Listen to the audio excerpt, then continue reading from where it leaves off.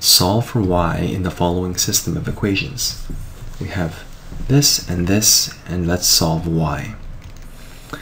Now, one approach to do it is to simply solve for one variable, and we're going to solve for x here, and we want to replace x with y's because we want just y's. So let's try to get what x is.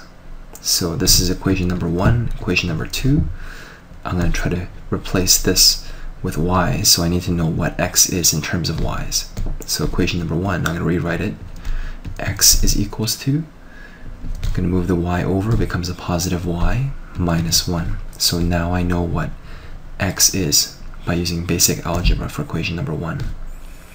Now that we have the value of x, we can simply look at equation number two and plug in that x value.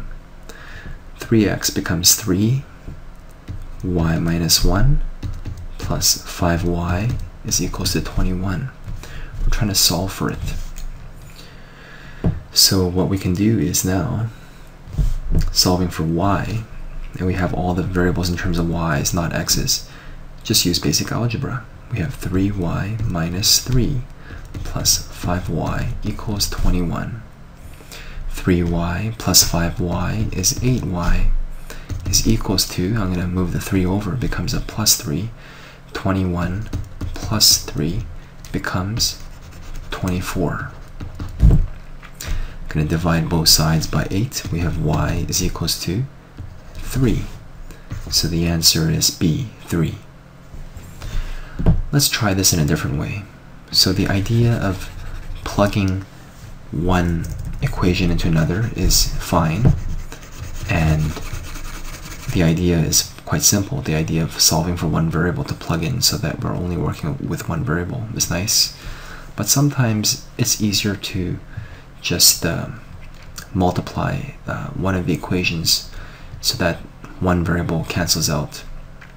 So for example, if I want to solve for y, I'm going to actually try to eliminate the x's. And when I look at these two equations, I can multiply equation number 1 by 3. So equation number 1 revised becomes times 3 becomes 3x minus 3y is equal to negative 3. I multiplied everything by 3, left side as well as right side. So now I'm focusing on these two equations and I'm going to subtract I have 3x minus 3x is 0, which I don't have to write.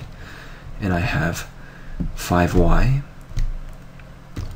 So I have 5y minus negative 3y, because it's this here, minus negative 3y, so the 2 minuses becomes a positive, is equals to 21, which is the top equation, minus negative 3. So I'm subtracting down this way top minus the bottom.